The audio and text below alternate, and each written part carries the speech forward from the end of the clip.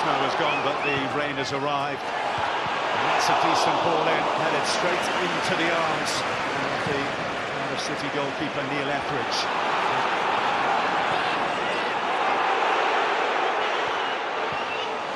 Here's Clarke.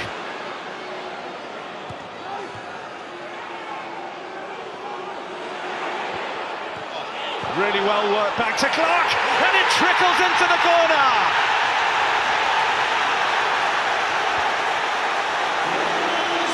First goal in 11 games for Leon Clarke. Sheffield United have found a way to breach the best defence in the Championship.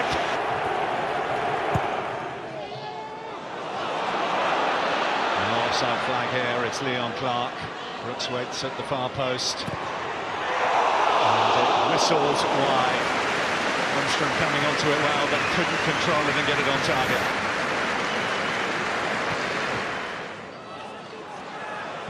Amber away, but not convincingly so. Here's Fleck. Still Fleck. Plays a lovely ball in. And he's out really well. Etheridge got the ball out and the man. Good goalkeeping. What a chance to extend the lead.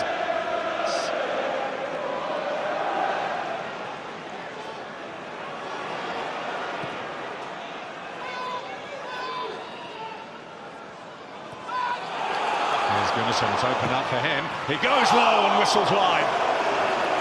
Well, far, far and away the best moment of the game from Cardiff City. There's movement down on that Sheffield United bench. I think uh,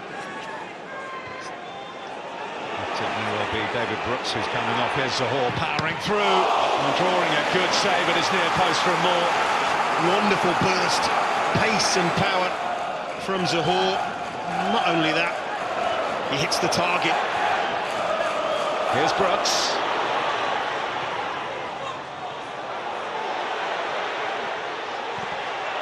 Very nearly, very good.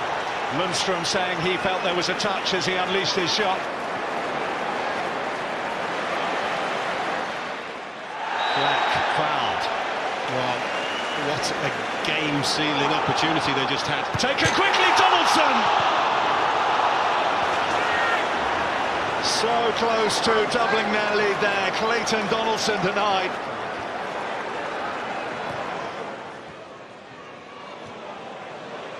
Lee Evans. Now was he fouled by Bamba? If he was, it was just outside the penalty area, I think, but uh, it's not given. And then there was a foul in there by Baldock, who runs to the assistant on this near side. He'll need to be careful. As Lee Evans does the Cruyff turn there, is he? Well, he is helped over, isn't he? There is no doubt. For me, that's a foul.